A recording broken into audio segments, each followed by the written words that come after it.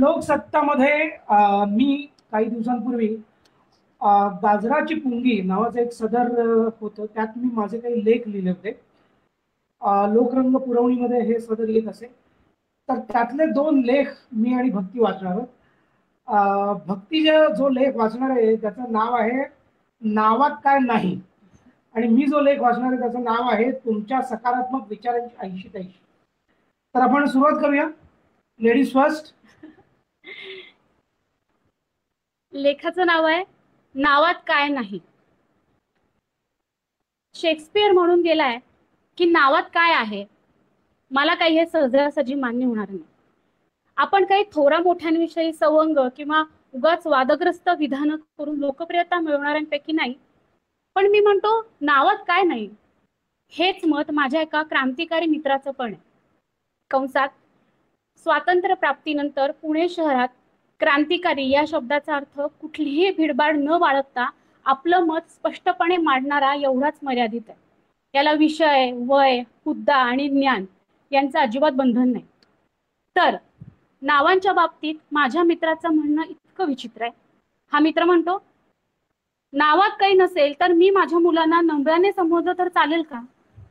ए बँडो डुकरासारखा लोळत काय पडलाय पंधरा तू जर वीसच्या नादी लागलीस ना तर तुम्ही त्याच्यासारखी आळशी होशील त्या बारा बाराशी मैत्री करून तुम्ही दोघेही बाराचे होणार असं साधारण मुलांना संबोधलं जाईल. किंवा एखाद्या षोडश वर्षीय कन्येने आई मी बावन्न आणि त्रेचाळीस बरोबर तीनशे चाळीसच्या घरी अभ्यासाला जात आहे. तेवीस छत्तीस आली तर तिला आम्ही तेरा चौदाच्या घरी गेलो असं खोटं सांग. नाहीतर ती तेरा सव्वीसला बरोबर घेऊन येईल आणि आमचा अभ्यासच होणार नाही. आता त्या पालकांनी हे गणित कसं सोडवायचं? एखादा जरी आकडा चुकला तरी आपली कन्या कुठे कुणाकडे का गेलीये? त्याबद्दल कुणाला काय सांगायचं? हे कळेल का त्यांना? आता माणसांची नावं हे जर आकडे असतील तर? उदाहरणार्थ सदरू आरोपी तीनशे दोन चारशे सहा आणि चारशे अठ्ठ्याहत्तर. यांचा कलम तीनशे दोन चारशे सहा आणि चारशे सत्याऐंशी या कलमाखाली अमुक तमुक शिक्षा सुनावली जात आहे. असं जर झालं तर आरोपी कुठले शिक्षेचं कलम कुठलं याचा किती गोंधळ होईल?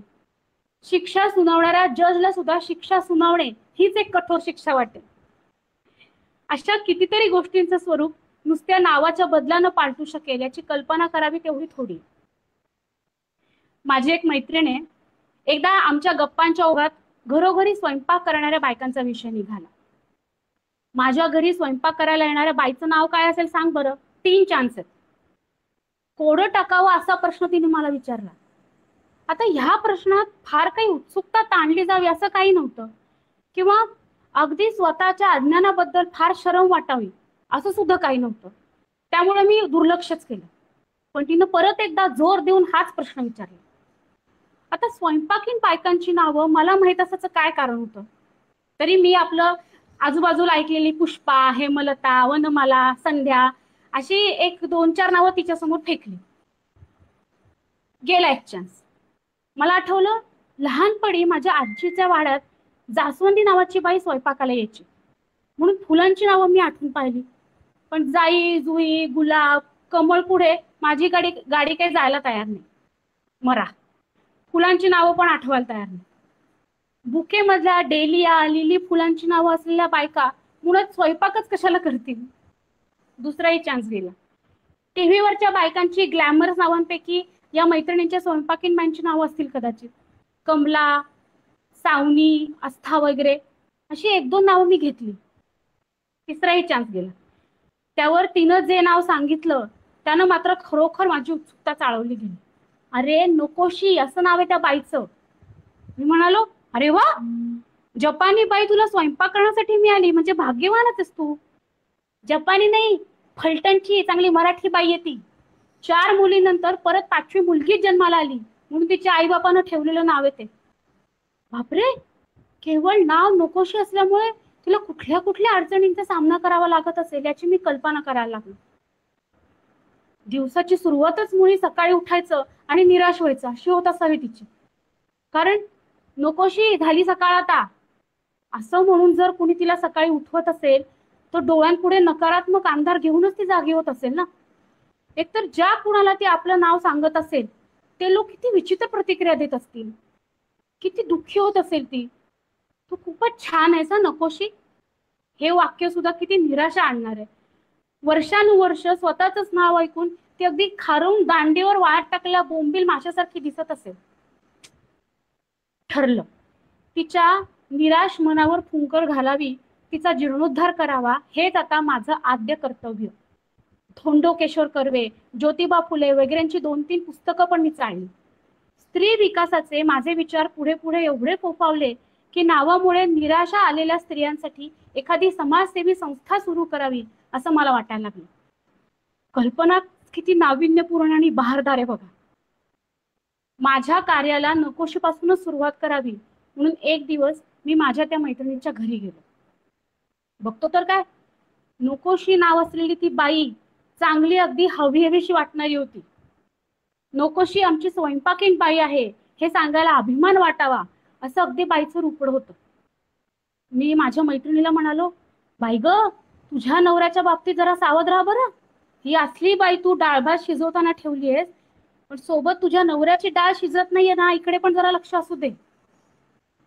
असंच आम्ही काहीतरी विनोदानं बोलत होतो आणि नकोशी आमच्यासाठी कॉफी घेऊन आली. चांगला हसत वगैरे तिने आम्हाला कप पुढे दिला. आपलं नाव नकोशी आहे. तिची आजपर्यंत तिला काही खंत वाटली असेल असं तिच्याकडे बघून मला अजिबात वाटलं नाही. माझ्या स्त्री विकासाच्या उत्तुंग कार्याला प्रारंभिक नकोशीच्या हसऱ्या चेहऱ्यानं सुरुंग लागला. माझी चूक माझ्या लक्षात आली. माझा सगळा जोर नकोशी या अर्थावर होता. वास्तविक तो फक्त त्या कमनीय बांध्याचा पत्ता होता.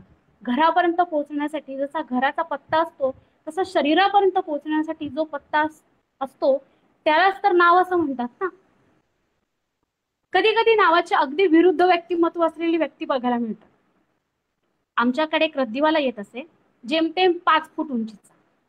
कृष देहयष्टीचा आणि बायकी आवाज असलेल्या त्या देहाचं नाव भानू प्रताप असं होतं. अगदी जीर्ण झालेल्या एमएटी नावाच्या दुचाकीवरून तो फिरत असे.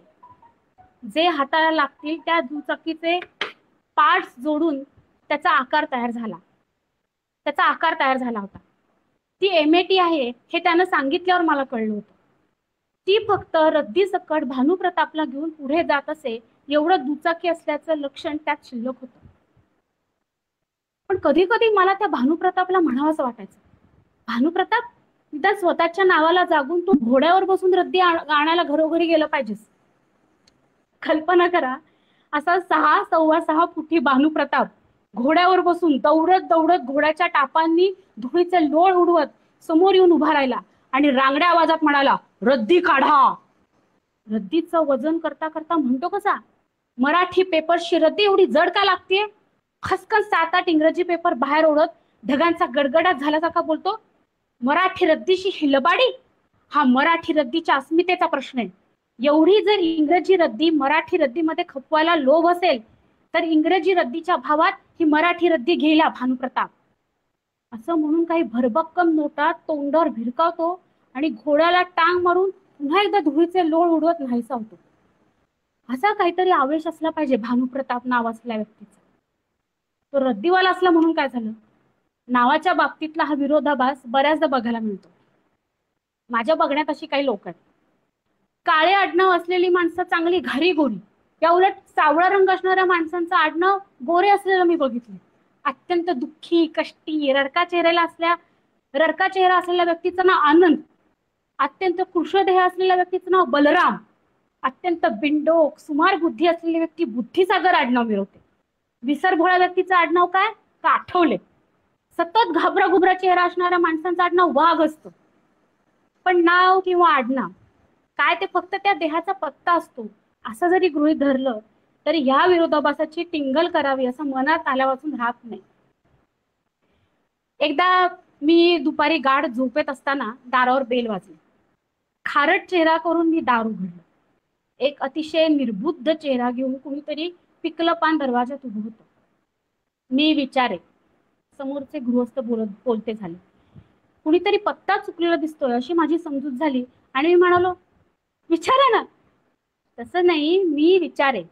पुन्हा तेच. पण फार घोळ वाढून न देता तेच म्हणाले. अहो माझा आडनाव विचारे. तुमचा घरमालक आहे मी. तुमच्या चौकशीसाठी आलो. त्याच्या तोंडावरच मी मूर्खासारखा फसकन हसलो. आणि विचारे आडनाव असला मनुष्य प्राणी मी माझ्या आयुष्यात पहिल्यांदाच बघत होतो.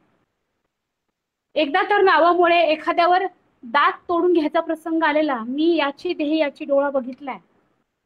आम्ही काय मित्र एका बऱ्यापैकी श्रीमंत बारमध्ये बसलो होतो. संपूर्ण बार मध्य धुंद झालं होतं. मला या वातावरणात मला फारसं आवडतं. फारच आवडतं. न पिणाऱ्यांची या वातावरणात जेवढी करमणूक होऊ शकते ती इतर कुठेही होऊ शकत नाही. रेडिओची दोन तीन स्टेशन्स एकत्र झाल्यावर जसं होईल तसं पर परस्परांचं इथं ट्युनिंग झालेलं असतं. आमच्या मागच्या टेबलवर दोघे जण बसले होते. समोरासमोर दोन झेंडे फडफडतायत असं वाटत होतं. आणि काय झालं ते काही कळलं नाही पण अचानक त्याच्या बाजूच्या टेबलावर बसलेल्यांशी त्यांची काहीतरी बाचाबाची सुरू झाली. दोघांनी एकमेकांच्या आई वडिलांचे यथेच्छ उद्धार केले. त्या बऱ्यापैकी श्रीमंत बारला गुत्त्याचं स्वरूप आलं. प्रकरण हाणामारीपर्यंत जाईल की काय? अशी काहींच्या मनात शंका तर काहींना खात्रीच पटली. नक्की काय झालं? ते तिथे कुणालाच विचारायची सोय नव्हती. त्यातच कुणाच्या तरी हातून चुकून ग्लास फुटला आणि वातावरण एक आणि वातावरणात एक प्रकारचा जोश संचारला. शेवटी बार मालकाच्या मध्यस्थीने प्रकरण कसंबसं आटोक्यात आलं. परत शांततेनं सर्वजण दारू कामात रुजू झाले. जसं काही आत्ता काही झालंच नाही. का कुणाच ठाऊक? त्या दोघांपैकी एकाला कुणीतरी त्याचं नाव विचारलं. त्यानं त्याचं नाव अमिताभ असं सांगितल्यावर परत एकदा भडका उडाला. तुझं नाव अमिताभ आहे होय? असं म्हणून त्या चार पाच जणांनी असा काही धुतलाय त्याला. केवळ अमिताभ या नावामुळे शांततेचा भंग झाला आणि शेक्सपियर म्हणतो नावात काय? खर तर या इंग्रजी शब्दांनी जेवढा नावांच्या दुनियेत घोळ घालून ठेवलाय ना तेवढा घोळ आपल्या इथल्या नगरपालिकेच्या कार्यालयात सुद्धा कोणी घालत नसेल. पी पासून सुरुवात होणाऱ्या शब्दांचा उच्चार काय? तर म्हणे सायकॉलॉजी अशी अनेक उदाहरणं देता येते इंग्रजी नावाच्या या अट्टाहासापायी पुण्यातल्या एका बँकेत एक मजेशीर प्रसंग घडला होता. असाच कुणीतरी चिमण गणफुले पुण्यातल्याच एका बँकेत पैसे काढण्यासाठी गेले. त्यावेळी काही आत्तासारखी एटीएम मशीन्स अस्तित्वात नव्हती. पैसे काढण्याच्या स्लिपवर तुमचं नाव अकाउंट नंबर वगैरे तपशील भरून ती एका काउंटरवर नेऊन द्यायची. मग बँकवाले टोकन देणार आणि तुमचा नंबर आला की स्लीपवरचं तुमचं नाव पुकारलं जाणार आणि तुम्हाला तुमचे पैसे मिळणार. अशी त्यावेळी पद्धत होती. चिमणने स्लीप भरून काउंटरवर दिली टोकन घेतलं आणि आपलं नाव पुकारण्याची वाट बघत तिथल्याच एका बाकड्यावर जाऊन बसला. बराच वेळ झाला तरी त्याचं नाव काही पुकारलं जाईना. त्याच्या मागवून आले लोक पैसे घेऊन गेले. नवीन लोक आले ते सुद्धा पैसे घेऊन गेले. आता मात्र चिमण अस्वस्थपणे बँकेत येरझारा घालायला लागला. पैसे घेऊन जाणाऱ्या लोकांकडे उगाच रागानं बघायला लागला. एक तास झाला दोन तास झाले शेवटी चिमणची रागानं शेवटी चिमणची रागानं कांछिलं गरम झाली आणि सरते शेवटी सरळ त्याने कॅशियरच्या खिडकीवर जाऊन धडक मारली. शांतपणे कॅशियरने टोकन नंबर विचारला. चिमणने टोकन नंबर सांगितला आणि काय आश्चर्य? तो कॅशियर त्याच्यावरच भडकला. कधीपासून मंदार लोडगे मंदार लोडगे नाव घेऊन मी बोंबलतोय? ऐकून आलं का? त्यावर चिमणला हसावं का रडावं तेच समजेना. अहो मंदार लॉज. असं नाव आहे ते. यावर तिथे उपस्थित असलेल्या लोकांचा एवढा मोठ्यांदी हशा आला की त्या कॅशियरला कुठं पळावं की कुठे नको असं झालं. आता यात खरं तर चूक कॅशियरची नाही इंग्रजांची. लॉज ह्या शब्दाचं स्पेलिंग कुणी? L O D G E असं करतं का? मला तर नेहमी असं वाटतं की असे सगळे इंग्रजीतले शब्द एकत्र करावेत आणि त्यांचं सरळ पुन्हा एकदा बारसं करावं. शेक्सपियर काही म्हणो पण आपण तर खुल्लम खुल्ला म्हणतो. नावात काय नाही. आपलं म्हणणं जर खोटं असेल ना तर आपण आपलं नाव बदलायला तयार होतो. धन्यवाद. आता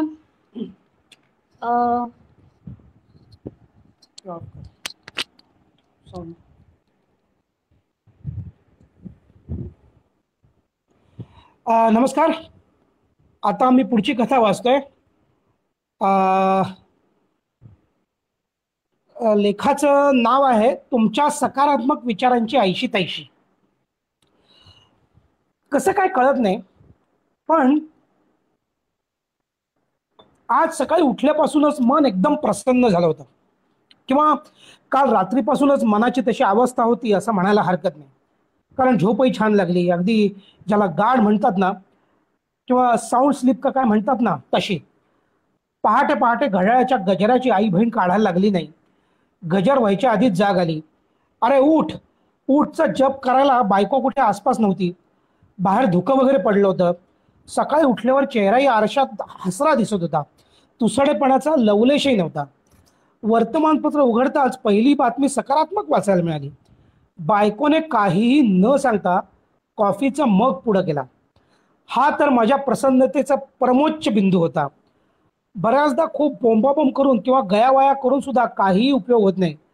कधी कधी मी कॉफी मागितल्यानंतर मी नवरा असल्याची ओळख सुद्धा बायकोच्या डोळ्यात दिसत नाही. म्हणजे हा कोण परग्रहवासी कॉफी मागतोय असे काहीतरी अनोळखी भाव तिच्या डोळ्यात दिसतात. शेवटी मलाच माझ्या जीवनाचा शिल्पकार होऊन काहीतरी हालचाल करावी लागते. पण आज मात्र दिवसच काहीतरी वेगळा होता दृष्ट लागण्यासारखा. आदल्या दिवशीच पुस्तकाच्या प्रदर्शनातून तुमच्या सकारात्मक विचारांची शक्ती नावाचं एक पुस्तक विकत आणलं होतं. त्याचा हा परिणाम असावा बहुतेक. अरे वा! नुसतं पुस्तक घरी आणलं तर ही स्थिती. ते वाचायला वगैरे सुरुवात केल्यावर तर प्रत्येक दिवस बहुधा रम्य ही स्वर्गाहून धरणी असा उगवणार बहुतेक.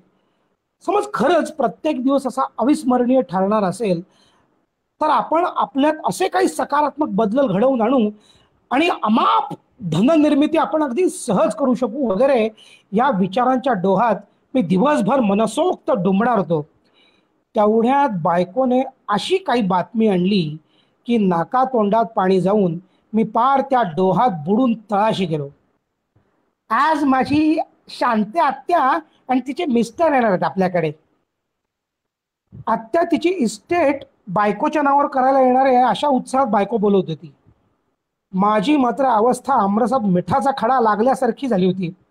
शक्यतो चेहरा हसरा ठेवत आणि मनाची अवस्था चेहऱ्यावर दिसू न देण्याचा मी कसोशीने प्रयत्न करत होतो. कशाला येणारे मरायला आजच? हे शब्द मी जिभेच्या टोकावरून मुश्किलीने आवंडाबरोबर गिळत होतो. चेहरा कसाबसा प्रसन्न ठेवत मी म्हणालो अरे वा अलभ्य लाभ. पण म्हणजे काही काम आहे का सहजच? या प्रश्नात दोन गुप्त हेतू दडले होते.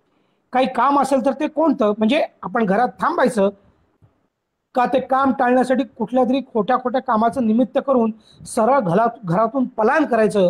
आणि दुसरं म्हणजे किती वेळ थांबणारे आत्ता या आत्या याचाही अंदाज आला असता. कशाला येणार ते काही मला माहीत नाही. असं उत्तर देत बायकोने माझे दोन्ही हेतू धुळीला मिळवले. इतका वेळ आजचा दिवस किती प्रसन्न आहे असं म्हणणारा मी आला दिवस आता कसा तरी रेटायचा इथपर्यंत येऊन पोचलो होतो. आता ही शांता आत्या म्हणजे नक्की कोण?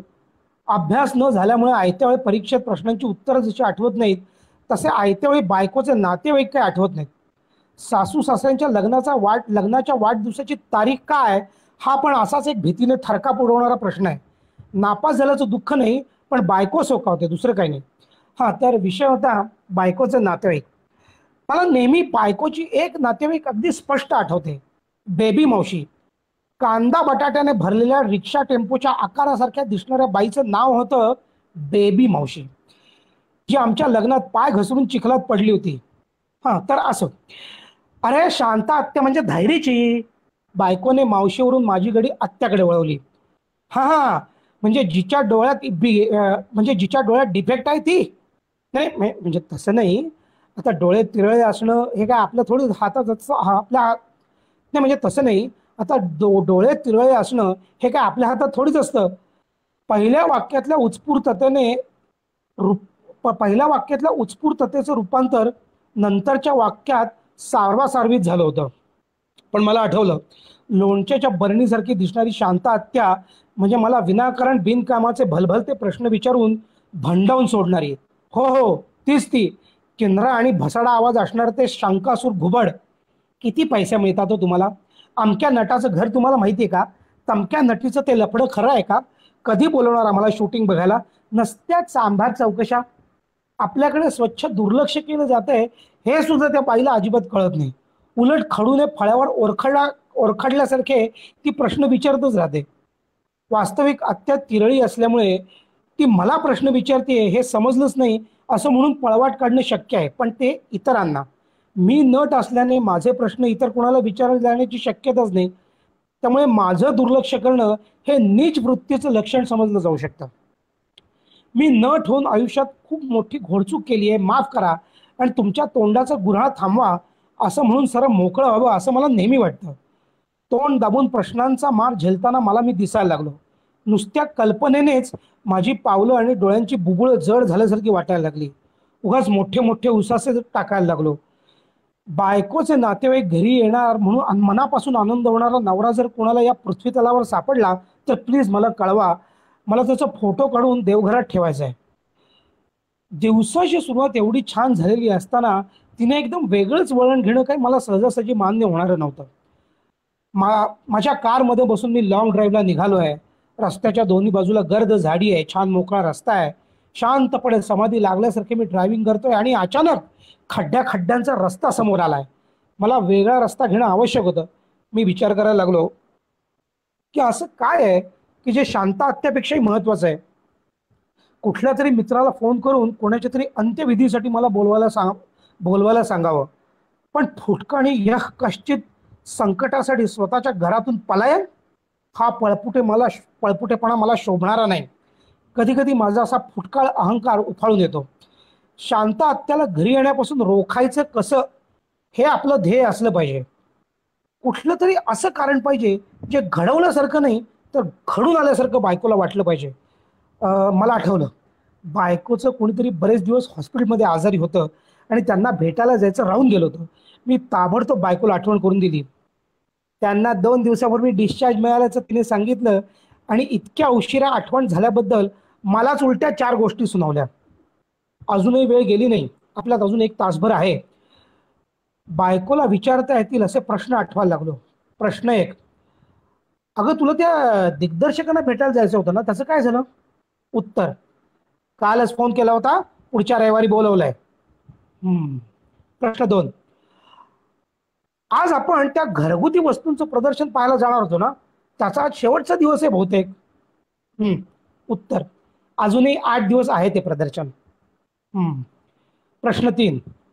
किती जळमट झाली आहेत. आज आपण सगळं घर आवरणार होतो ना? अगदी दिन दुबळा प्रयत्न. उत्तर. पहिल्यांदी दुर्लक्षच. नंतर. जळमट तुझ्या डोक्यात झाली आहेत. हे बघ तू किती प्रयत्न केलेस ना तरी शांत आत्याला तू आज घरी येऊ नकोस असं मी सांगणार नाही. कळलं? असं म्हणून शेवटी मलाच बायकोने चारी मुंड्या चित केलं. आली वाटतं.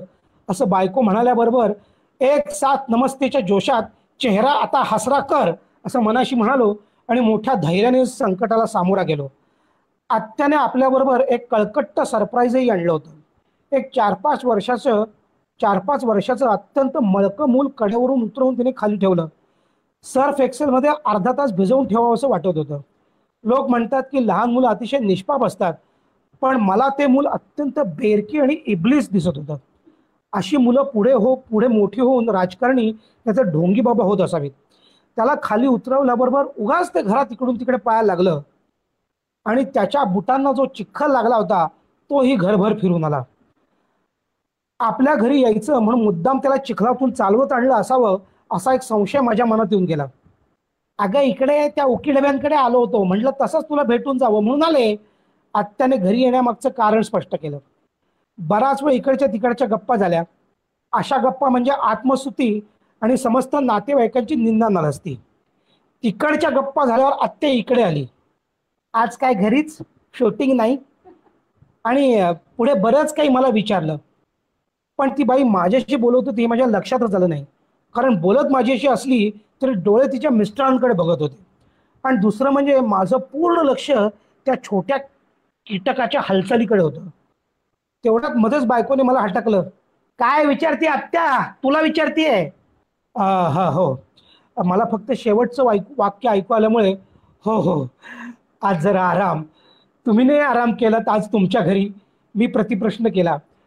बायकोने डोळे विस्फारले. मी गप्प. आणि अचानक माझ्या चेहऱ्यावरचे भाव बदलले. डोळ्यात संताप आणि बाकी चेहरा हसरा असे काहीतरी मिश्र भाव चेहऱ्याने घेतले. त्या गनिमाने कोणाची पर्वा न करता बिनधास्त जमीन ओली केली. यावरती आत्या मोठ्यांदी हसली. अलेच्छा चुचू झाली वाटतं असं म्हणत बायकोने त्या प्रसंगात मोठ्या हिरिरीने भाग घेतला. तशा अवस्था तशा अवस्थेत ते मळकट वासरू ओल्या पायाने घरभर फिरून आलं. पण त्याच पाला पा पण त्याच पायावर चालत टॉयलेटपर्यंत जाण्याचे संस्कार त्या मुलावर का केले नसावेत? जवळच पडलेलं तुमच्या सकारात्मक शक्तींची तुमच्या सकारात्मक विचारांची शक्ती या पुस्तकाचा कव्हर पेज बघत बराच वेळ मी बसून राहिलो. पण थोड्याच वेळात त्याने फेविकॉलचा अख्खा डबा फरशीवर उपडा केला आणि परत घरभर फिरून त्या फेविकॉलला घराचा कोपरान कोपरा दाखवला. इतका वेळ कव्हर पेज बघत जमवलेल्या सकारात्मक शक्तीचा पार सत्यानाश झाला. त्याला हळूच जवळ बोलून जोरात चिमटा काढून घेतला. तेव्हा जरा मनाला बरं वाटलं. बराच वेळ रडण्याचा कार्यक्रम पार पडल्यावर परत एकदा त्याने जमीन ओली केली. आणि मी काढलेल्या चिमट्याचा सूड उगवत माझ्याकडे बघून स्मित केलं. लहान मुलं ही देवाघरची फुलं असतात ही म्हण ज्याने कोणी बनवली आहे त्याला इथे बोलवून या फुलाने घरात जी घाण केली आहे ती एकदा उघड्या डोळ्याने बघ म्हणावं असं म्हटलं पाहिजे. त्याच्या हातात एक फडकं देऊन त्यालाच हे सगळं घर पुसायला लावलं पाहिजे. आत्याने मात्र हसत हसत आम्ही मुद्दामच याला डायपरची सवय लावली नाही. असं आम्हाला पण पंख्याकडे बघत सांगितलं. केवळ मूर्खपणा आहे हा. तुमच्या घरात तुम्ही त्याला डायपरच काय चड्डी सुद्धा घालू नका. पण दुसऱ्यांच्या घरी जाताना प्लास्टिकच्या पिशवीत सील बंद करूनच नेली पाहिजेत अशी मुलं. आणि डायपरची सवय नाही ही काय अभिमानाने सांगण्याची गोष्ट आहे? आणि अगदी झाली सवय. तरी एक दिवस त्याचं त्याला कळेलच ना की आता इथून पुढे आपण डायपर वापरायचं नाही. असं सरळ परखडपणे त्यांना सुनवावं असं मा असा विचार माझ्या मनातून गेला. पण बायको नावाच्या तोफेच्या तोंडी जाण्यापेक्षा मी गप्प बसलो. पाच तास अडतीस मिनिटं माझ्या सहनशक्तीच्या सगळ्या परिशुंड्यावर आत्या परत घरी जायला निघाली. जाताना अगदी मावचीला चॉली म्हण चुचू केली म्हणून असं उगाच आमच्या समाधानासाठी खोटं खोटं बोलली. हा हो, असू दे. लहान आहे तो त्याला काय कळतंय? असं म्हणताना मला किती यातना होत होत्या ते परमेश्वरालाच ठाऊक. आत्या गेल्यानंतर पुढच्या वेळी टॉयलेटमध्येच बांधून ठेवणारे मी असली मुलं त्यातल्या त्यात धाडस करून बायकोच्या तोंडावर हे वाक्य मी भिरकावलंच. आणि आश्चर्य म्हणजे बायको त्यावर काहीही बोलली नाही. त्याच संध्याकाळी माझी एक सुंदर मैत्रीण तिचा नवरा आणि अर्थात त्यांचं एक चतुर चौकस आणि चौफेर बाळगडणारं आपत्ती अचानक घरी येऊन थडकले. काय म्हणतात या अवस्थेला? तुटलेली बोटं घेऊन शाहिस्तेखान जेव्हा औरंगजेबाच्या भेटीला गेला तोच प्रसंग परत आमच्या घरात घडत होता. इथे बायको औरंगजेब आणि मी शाहिस्ते खान. शाहिस्ते खानाची बोटच तुटली होती. पण ही मैत्रीण घरी गेल्यानंतर बायको मा बायको कसे आडवे तिडवे वार करणारे माझ्यावर याचा विचार मी करायला लागलो. सुरुवातीला बराच वेळ मूल ते मूल आईला बिलगून होतं. म्हटलं चला सुटलो. पण थोड्याच वेळात त्याची भीड चेपली आणि जसं ते आईच्या मांडीवरून खाली उतरलं तसं त्याने स्वयं थैमान घालायला सुरुवात केली. कोंबड्या पकडताना जशी होईल तशी धावपळ त्याच्यामागे धावताना माझी होत होती. उगाच ते मोठ्यांदी किंचाळत होतं. त्याचं किंचाळणं कमी व्हावं म्हणून मी त्याला कॅडबरी दिली. तर त्याने कॅडबरीने भिंती बरबटवून टाकल्या. ऍक्टिव्ह आहे अगदी. मोठेपणी कोणीतरी मोठा चित्रकार होणार असं दिसतंय. खरं तर हे मी खवचटपणे म्हणालो होतो. पण त्या बालकाच्या पालकांनी फालतू कौतुकाची झापडं लावून घेतली असल्यामुळे ते खवचटपणा वगैरे काही कळण्याच्या पलीकडे गेले होते. वास्तविक अत्यंत मवाली बंडखोर होऊन पोलिसांपासून तोंड लपवत पडणारा हा कोंब. असं म्हणत आलं होतं. पण तरी म्हणण्यावर संयम म्हणतातच ना मुलाचे पाय पाळण्यात दिसतात असंच म्हणावं लागलं. असं मी म्हणेपर्यंत टिपॉयवरच्या फ्लॉवर पॉटचा आणि आमचा सहवास नराधमाने कायमचा संपवला. मी यावेळी भारत पाकिस्तान बॉर्डरवर शत्रूच्या गोळीला सुद्धा तोंड देऊ शकलो असतो पण बायकोशी नजर मिळवण्याचं काही मला धाडस होईना. फ्लॉवर पॉटचे तुकडे मी उचलून टाकतच होतो तेवढ्या टर्र असा आवाज आला. बघतो तर काय? सकारात्मक विचारांच्या शक्तीचा शक्तीपात झाला होता. त्या चाणाक्ष बालकाने ते पुस्तकच फाडायला सुरुवात केली होती. ते पुस्तक त्याच्या हातातून हिसकावून घेईपर्यंत त्याच्या अजून चार पाच चिंदड्या झाल्या. असंच करतो हा. जरा कुठलं मासिक हातात लागलं की फाडूनच टाकतो. त्यामुळे आम्ही सगळी मासिकं पुस्तक असं उंचावर ठेवतो. मी मनात म्हणालो मूल तुमचं आहे. ते कधीतरी आमच्या घरी येईल. म्हणून काय आम्ही पुस्तक घेऊन सतत म्हणून काय आम्ही पुस्तकं घेऊन सतत उंचावरच बसून राहायचं का काय? नवरा जरा सुज्ञ होता. त्याने काहीतरी लालूच दाखवून त्याला आपल्या जवळ बोलवून घेतलं आणि मांडीवर बसून त्याला खेळवायला लागला. पण काही कळायच्या आत चहाचा कप नवऱ्याच्या शर्टवर उपडा झाला. त्या पिसाळलेल्या बालकाने आपला हात चहाच्या कपवर मारला आणि गरम चहा नवऱ्याच्या अंगावर सांडला. थोड्याच वेळात त्या कार्ट्याची दहशतच निर्माण झाली. हळूच नजरेच्या कोपऱ्यातून मी बघितलं तर बायको माझ्याकडेच नगर रोख नजर रोखून बघत होती. युद्धाचं रणशिंग फुंकलं गेलं असं मला वाटलं पण कुकरची शिट्टी वाजली होती. आणि त्या बिचाऱ्या आईबापांची. दोघेही तो चालता बोलता विध्वंस उचलून घरी जायला निघाले. मी त्यांना घराबाहेर सोडायला गेलो. मला असं एकट्याला बायकोच्या तावडीत सोडून जाऊ नका असं मला त्यांना कळकळीने सांगावं असं वाटत होतं. पण घरात गेल्यावर जो बॉम्ब फुटणार होता त्याची वाद पेटवून ते निघून गेलेच. कुठून गोळी येते का? कुठून बॉम्ब अंगावर पडतोय का? असा लपत छपत मी घरात शिरलो आणि बायकोला समोर बघून एकदम दचकलो. अरेच्या होतं असं कधी कधी वेळ काय कुणावर सांगून येते? सगळ्याच गोष्टी काय आपल्या हातात थोडीच असतात. आणि लहान मुलं इकडून तिकडून सारखीच. आणि एवढं काय झालं? दंगामस्ती करण्याचं वयच आहे त्यांचं. आणि हे बघ आजच्या दिवसाची सुरुवात एवढी छान झाली आहे उगाच नसत्या गोष्टीमुळे आपल्यात भांडणं नको. यावर शांतपणे बायको म्हणाली पण मी काहीच बोलली नाहीये. असं म्हणून हसत हसत निघून गेली. त्या हसण्यामागे केवढा अर्थ दडला होता हे मी वेगळं सांगायला नको. मी आपला खाली मान घालून तुमच्या सकारात्मक विचारांची शक्तीची पानं चिटकवत बसलो. धन्यवाद. वा वा वा